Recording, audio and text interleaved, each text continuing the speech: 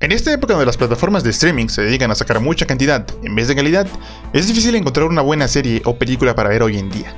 Hay veces que quieren innovar en estas, pero les sale mal, o muchas veces quieren seguir sus mismas fórmulas y ver series se hace monótono. Pero en esta ocasión no. Netflix nos trajo una buena historia que más allá de ser terrorífica es interesante a la vez impactante. Es una historia real que te hará sentir escalofríos más de una vez, con actuaciones buenas y un soundtrack de suspenso que te cagas. Hablemos de Dahmer.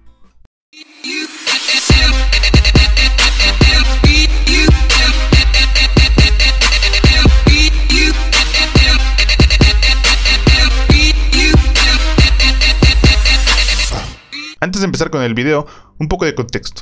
¿Quién es Jeffrey Dahmer? Jeffrey Lionel Dahmer, nacido el 21 de mayo de 1960, también conocido como el monstruo de Milwaukee, fue un asesino en serie, un delincuente sexual de nacionalidad estadounidense.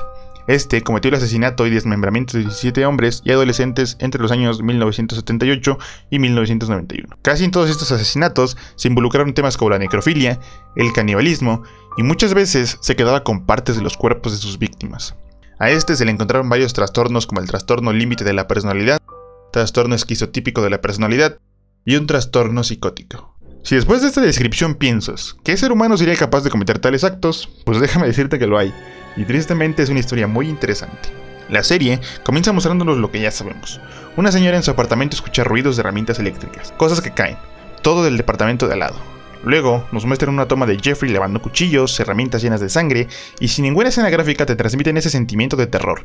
Sientes ese miedo recorrer por tu cuerpo al ver esas tomas. Luego nos llevan a los métodos del asesino. Vemos a Jeffrey en acción en un bar gay, llamando la atención de sus víctimas. Vemos cómo le ofrece 50 dólares a un chico para que le deje fotografiar, y lo lleva a su departamento. Todo esto con un soundtrack que te lleva de la mano y sabes que algo malo va a pasar. Te da ese sentimiento de temor y de suspenso. Al llegar aquí, la víctima siente lo mismo que el espectador. Siente miedo, tiene la sensación de que algo no está bien. Jeffrey, como ya es costumbre, droga a sus invitados para hacer con ellos lo que a él le plazca. Pero con este es diferente. Este no toma la bebida porque sospecha que algo está mal. Jeffrey, al darse cuenta, lo amenaza con un cuchillo para hacer lo que él quiera. Y se pueden ver películas de terror. Desde aquí, la serie me pareció increíble. Porque no pasaba nada, pero sabías que estaba loco. La víctima te hacía sentir como si tú estuvieras en su lugar. El soundtrack muy presente te transmitía ese temor y desde ahí me enganché. Empecé a verla con la idea de que sería otra serie más de alguien matando gente gráficamente, pero no. Hasta este punto la serie no llevaba ninguna muerte y podía sentir el terror invadir tu cuerpo. Continuando con la serie, esta víctima al no tomar la droga estaba cuerdo e ideaba un plan para escapar. Se ganó su confianza y en cuanto pudo lo golpeó. Salió corriendo y llamó a la policía y estos llegaron a su departamento. La policía al investigar un poco se percataron de un olor putrefacto y encontraron fotos de cuerpos desmembrados. Y ahí fue cuando Jeffrey Dahmer cayó. Y este fue el punto del que dije, ok, esta serie ya me atrapó. No te cuentan la típica historia viendo la perspectiva de un policía que busca un asesino, te cuentan la historia del asesino, cómo vivía las cosas, su perspectiva, y lo dejan claro desde el capítulo 1. No veremos la típica historia de asesinos. Entramos en su mente, conocemos sus costumbres, lo que hacía día a día, su familia, sus amigos. Al ser atrapado, una señora desesperada diciendo que ella llamó miles de veces y nadie la escuchó por el simple hecho de ser negra. Todos desconcertados y Jeffrey mostraba la cara más tranquila que un ser humano podía tener. Y así termina el capítulo 1. En los siguientes vemos toda la historia de Jeffrey, que sinceramente es muy muy interesante. Primero nos cuenta el padre que tras una operación de hernia, Dahmer no volvió a ser el mismo. Se volvió más callado, no se interesaba con nada, y luego esto hay que mezclar una familia disfuncional con peleas a cada rato. Amenazas de muerte y desde aquí, en simples escenas iban demostrando cómo Jeffrey iba despedazándose poco a poco. Desde que no quería que su padre lo abandonara, lo reflejaba con sus víctimas, generó un miedo al abandono de las personas que él quiere. Nos muestran un fetiche raro que tiene por las cosas muertas al soportar el olor putrefacto de un cuerpo en descomposición, el cómo se excitaba al sentir los órganos de un animal muerto. Ahora, algo que me gustó de esta es que te la cuentan salteada, entonces te obligan a terminar todas las historias. Hay veces que te dejan a medias en una historia y te siguen contando otra, y en el otro capítulo vuelven a retomar la historia. Este es un punto muy bueno porque como que al mismo tiempo que te sacan de onda, eh, se va volviendo más interesante porque quieres terminar la historia. Si se queda en suspenso. Pero en esta serie no solo vemos la historia de Jeffrey, sí es el tema central, pero también le dan su tiempo en batalla a las víctimas. Y esto es un punto muy acertado porque hacen que te encariñes con algunas de ellas. Solo en algunas porque sinceramente esto no fue al 100% así. No lograron su cometido como yo siento que querían. Ridiculizan a la policía demostrando lo tontos que pueden llegar a ser. No solo los oficiales, sino un ser humano. Nos demuestran lo mal que está la humanidad en temas de racismo, homofobia, el cómo un oficial de policía le cree antes a un hombre blanco y ebrio que a una mujer negra. En una escena, Jeffrey tiene cautivo a un niño de 14 años, y este logra escaparse mientras Jeffrey no está. Llama a la policía, y la policía viéndolo desnudo, sangrado de la cabeza, cuando llega Dahmer les dice que tiene 19 años y que es su novio, solo que está un poco ebrio. La misma policía lo lleva a su departamento, ellos mismos lo llevan a su muerte, y por miedo a los gays, no se atreven a revisar a fondo el departamento de Dahmer. Estos temas son serios y son cosas que pasan. El asesinato de muchas personas se pudieron haber evitado si tan solo hubieran hecho el mínimo caso a una señora. La vecina de Dahmer, ella llamó a la policía muchas veces quejándose de un mal olor en el departamento de su vecino.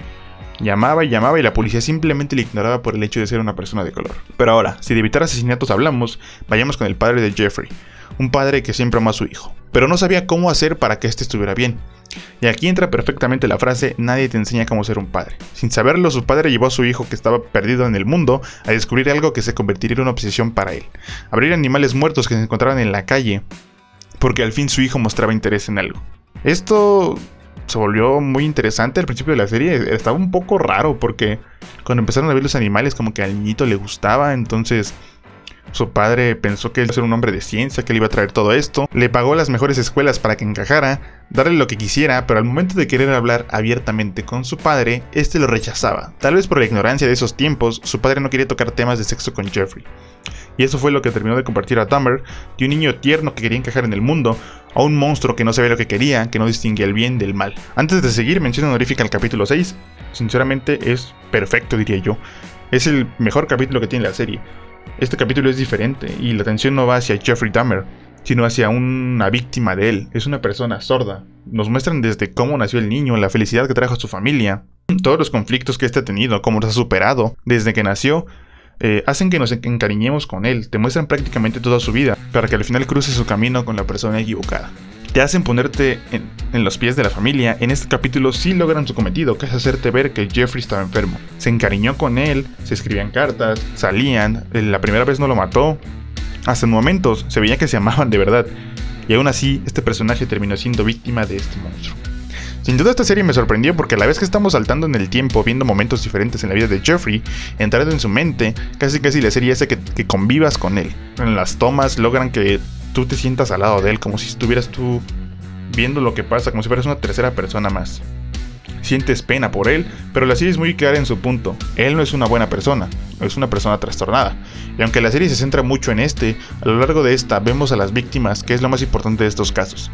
Los problemas psicológicos que él les causó, cómo cambió su vida, el sufrimiento. Y eso es algo importante porque es lo que se tiene que recordar en estas historias, la gente inocente que pagó el precio de una persona mentalmente inestable. Y tristemente no siempre es así. Y en la misma serie nos lo muestran. Y en los últimos capítulos vemos cómo Dahmer se hacía de fans, fama, la gente quería comprar sus cosas, le hacían cómics, le mandaban dinero y simplemente olvidaban a las víctimas. Creo que es lo más decepcionante de estos casos porque incluso en la serie misma, la historia del asesino causa más impacto que las historias de las familias. Sí les dedican sus episodios, pero no logran que conectes al 100% con ellos. El único capítulo en el que sí logras conectar es el capítulo 6 con esta víctima de este chavo que era sordo, pero los demás los ves y dices qué mala onda. Y aunque la serie intentó que conectáramos con todas las víctimas, no le salió del todo bien, porque la historia de Jeffrey sigue siendo la que te engancha, opaca a todas las demás. Y es triste porque como digo, en estos casos, lo que más se debe recordar son las víctimas inocentes que murieron. En conclusión, Dahmer es una muy buena serie de suspenso, terror, pero sobre todo es interesante. Evan Peters sin duda carga completamente con la serie, la manera en la que interpreta a Jeffrey Dahmer es magnífica, sin duda es un actor de calidad. Te transmite esos sentimientos de Dahmer a lo largo de su vida, cómo se va destrozando poco a poco, sin duda lo hace muy muy bien. Mi calificación final para Dahmer es de 9.0. Sin duda me sorprendió bastante, yo creí que sería una serie que se concentraría en el morbo de un güey matando gente pero no, me topé con una historia buena que te cuenta cómo pequeños problemas o cómo evitar una simple plática con tu hijo puede acabar con él mentalmente. Nos habla de lo ridícula que se ve la gente siendo racista o homofóbica, una crítica a la sociedad, a lo tonta que puede ser la policía, pero sobre todo nos cuentan por qué Jeffrey Dahmer hacía lo que hacía. Netflix, por favor, traerles más series así. Se agradecen ver contenido de calidad, ver historias buenas. Pero lo que me interesa saber es a ti qué te pareció esta serie. ¿Ya la viste? Si es así, cuéntamelo todo aquí abajo en los comentarios. Si no, ve a verla, que en serio te estás perdiendo de mucho si no la ves. Y una vez más amigos, muchas gracias por acompañarme en otro video. Mi nombre es Cristian y esto fue Fuera de Cine. Adiós.